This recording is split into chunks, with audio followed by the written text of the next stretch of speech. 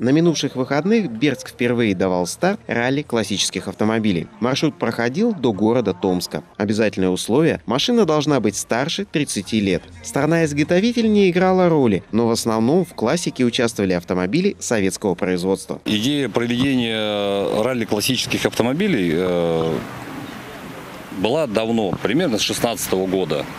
Э, была было желание э, именно прокатить людей по интересным точкам, значимым точкам. Для кого-то это новые места, чтобы люди познакомились э, с природой, с культурой и узнали побольше. Ну и между собой пообщались, познакомились. Для трассы был выбран маршрут, который проходил по Тогучинскому району. Он был выбран не случайно. Там устроитель автопробега в свои юные годы проводил у бабушки все лето на станции отгонка. На трассе очень много интересных мест э, в виде э, мы их обозначили как фототочки, чтобы люди знакомились, не просто ехали и ехали э, по треку, там еще что-то, а именно памятники культуры, памятники воинам, погибшим в войну, знаки, доски почета, какие-то интересные скульптуры. И все эти места мы по маршруту проезжаем.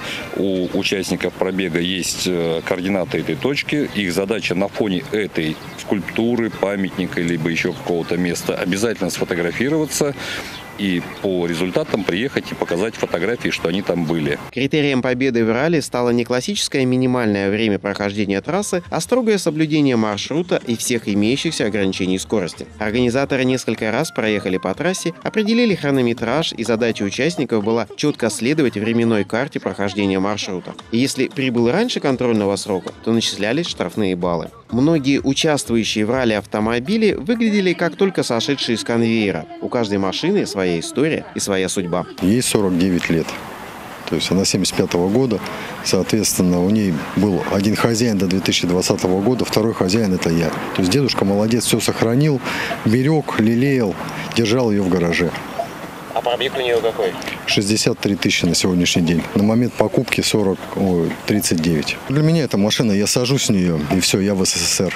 Я не с вами. Официальное открытие ралли прошло в Берске вечером в пятницу 28 июня. На старт же автопробега утром 29 июня прибыло почти три десятка экипажей. Правда, к вечеру финишировали в Томске, в Березкино всего 19. В классе внедорожной первое место поделились семья Шабельниковых Дмитрий и Алина из Новосибирска и экипаж во главе с Томичом Ильей Болвановым. Первый опыт такого ралли и сразу второе место в классе классическое ретро-авто у Томича Дмитрия Цыганкова на «Жигулях» третьей модели модели. Устроители готовы и в следующем году провести такой автопробег. Будем ждать.